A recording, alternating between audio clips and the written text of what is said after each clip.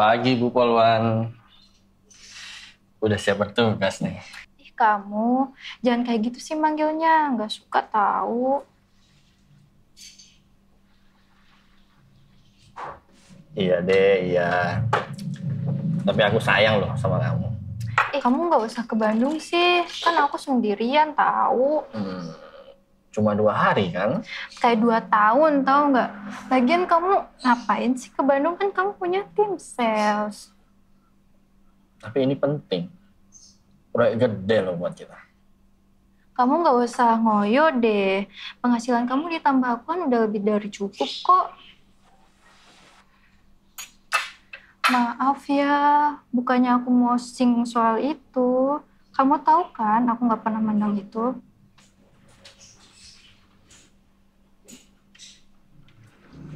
Iya. Tapi kita udah sering kan bicaraan ini. Aku cuma pengen lebih. Aku udah seminggu terakhir ini mimpin kita terus loh. Aku selalu mimpi saat pertama kali kita ketemu loh. Terus terus? Saat itu aku jadi sandera teroris itu. Dan kamu jadi sniper yang nyelamatin aku. Bidikan kamu benar-benar tepat. Tapi aku selalu khawatir sebenarnya tentang kita. Aku tuh nggak bisa berantem. Lari dikit aja udah ngos-ngosan. Pegang pistol nggak bisa. Apalagi lihat darah. Ya, tapi balik lagi sih. Aku nggak suka aja lihat ada orang jahat. Tetap aku cuma bisa support kamu. Yang ada, aku selalu khawatir soal kamu. Iya, Bawel. Tahu, bukan itu maksud aku. Aku kan punya banyak musuh. Aku takut aja orang-orang terdekat aku jadi inceran. Iya. Jadi kamu harus Simpen buat nanti malam kita video call. Biar kamu bikin tersiksa deh kangen sama aku. Oh iya, mobil aku bawa ya.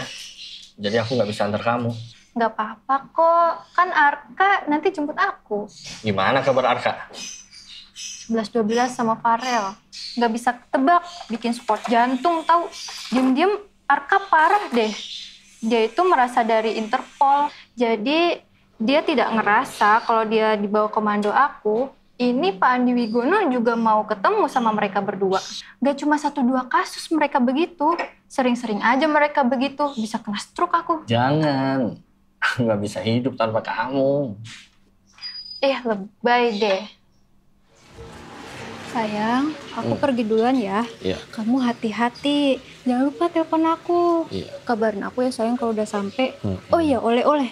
Jangan lupa oleh-oleh pisang sale. Oh iya, kamu juga jangan lupa makan. Kamu kan punya emak. Iya. Eh iya, jangan lirik teteh-teteh di Bandung ya. Banyak ya pesan-pesannya. Halo. Hai Arka. Ingat ya, awas kalau enggak. Iya. Udah aku pergi duluan ya sayang. Ya. Bye sayang. Bye.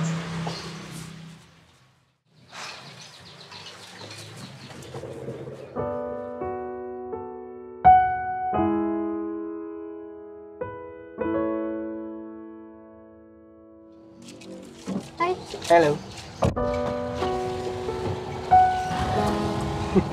Ayo mikir apa? Nah, aku kan nggak ngapa-ngapain. Aku tahu kamu mikirin sesuatu. Udah ngomong aja. Ya, lelaki hebat yang mencoba bikin istrinya bangga.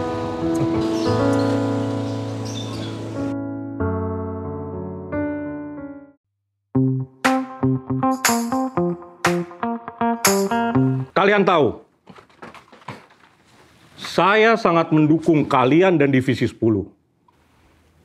Kalian berjalan dengan taruhannya leher saya. Pak Andi, kita selalu punya rencana. Pak Andi kan lihat sendiri kita selalu berhasil. Ya, tapi tetap harus ada garis batas yang kalian ikuti. Kalian tidak berada di atas institusi. Seberapa hebatnya kalian, seberapa tinggi kemampuan kalian. Di area Jawa Barat belum lama ini, kalian bertikai dengan kepala desa. Lalu kalian kirim boneka pocong ke anggota dewan. Belum lagi pemakaman palsu tanpa kami dan keluarganya tahu. Ayolah Pak, bagaimana kurang bahagia? Mengira orang yang dicintai sudah mati, ternyata masih hidup. Hip hip hooray! Semua orang senang, happy ending. Beberapa tidak mencabut tuntutannya sampai hari ini. Mereka cuma berlomba sama ego karena mereka merasa dikerjain. Jika kita butuh izin, surat menyurat, semua itu memperlambat. Belum lagi kalau semuanya ada yang bocor. Gagal, makin banyak yang mati. Kalian bisa kasih tahu sama saya jika kalian punya rencana. Saya masih pimpinan divisi ini. Saya adakan pertemuan ini karena Maya. Saya rasa Maya sudah berada di tingkat stres yang tinggi.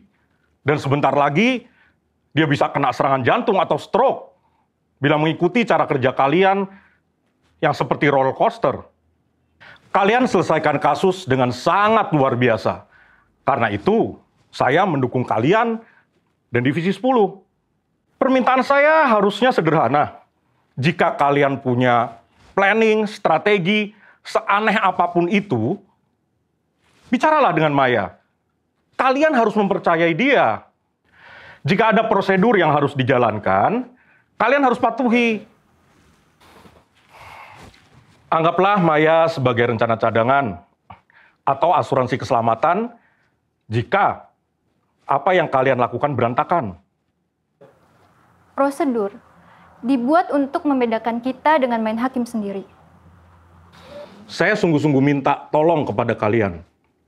Jika kalian tidak lakukan hal ini, jika ada masalah atau tuntutan di kemudian hari, kalian lihat saja, saya akan tenggelamkan kalian demi menyelamatkan divisi ini, karir saya, dan juga Bu Maya, anak didik terbaik saya. Paham? Ya, ya, ya. Saya akan lewati ancaman yang saya dengar. Tapi oke, pertanyaan saya. Gimana kalau korbannya ternyata adalah orang-orang terdekat kita? Kita tetap punya hukum. Komunikasikan dengan saya. Pak Andi dan saya akan mendukung. Tetapi kami harus tahu apa yang akan kalian lakukan. Dan kami harus bersiap apa yang akan terjadi. Itu yang akan menjadi perhatian kami. Jadi kami tetap akan berimprovisasi dan komunikasi sifatnya hanya informasi bukan sebagai izin. Seandainya prosedur dan kreativitas kalian seimbang, kenapa tidak? Oke. Kita akan coba. Farel? Oke, kami akan coba sebisa mungkin untuk komunikasi. Bagus. Saya harap kita sudah saling mengerti. Silakan bubar. Saya tunggu hasil terbaik kalian. Oke. Terima kasih, Pak.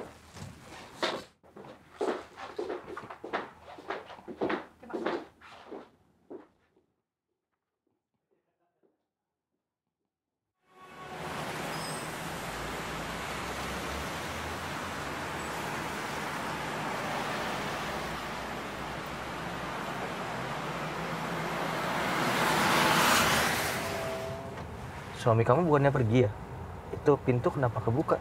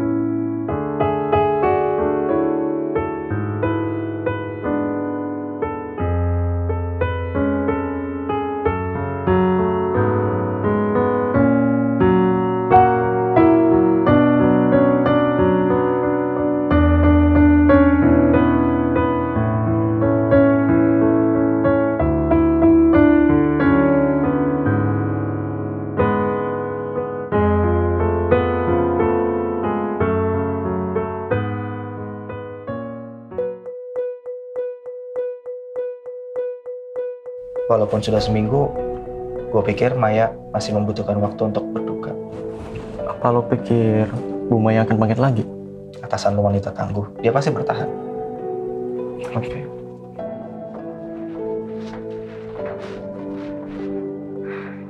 Saya minta maaf karena saya membutuhkan waktu untuk berduka. Kami mengerti, Don. Terima kasih atas perhatiannya. Silakan duduk. Ada yang ingin saya sampaikan. Grega membuat hal ini menjadi pribadi. Kita akan bergerak dengan kekuatan penuh untuk menemukannya. Saya butuh kalian untuk berimprovisasi lebih cepat, dan kita akan segera menemukan siapa Grega. Kita bisa urus beberapa prosedur.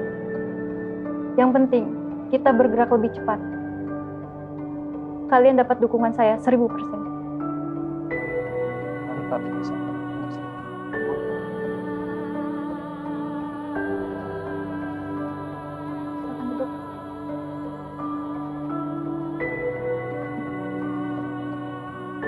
Mulai.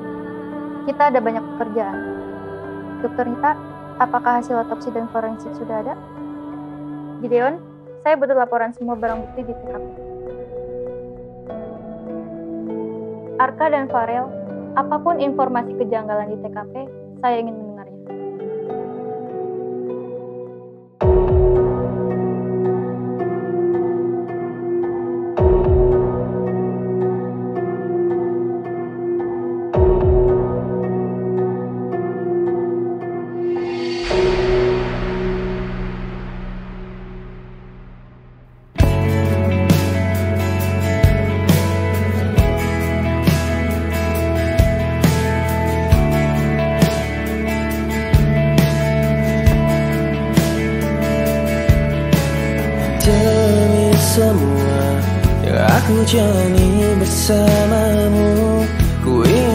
jadi milikku.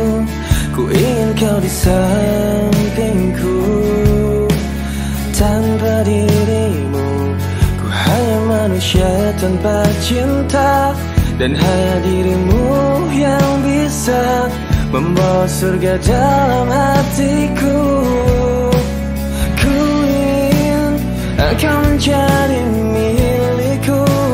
Aku akan mencintaimu Menjagamu selama hidupku Dan aku. Kan berjanji Hanya kau yang aku sayangi. Ku akan setia di sini menemani.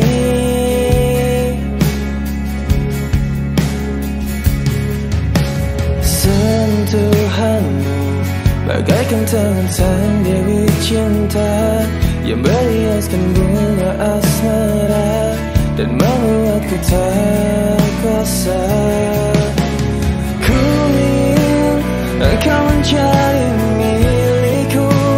Aku akan mencintaimu Menjagamu selama hidupku. Dan aku kan berjanji Hanya kau yang aku sayangi Ku akan setia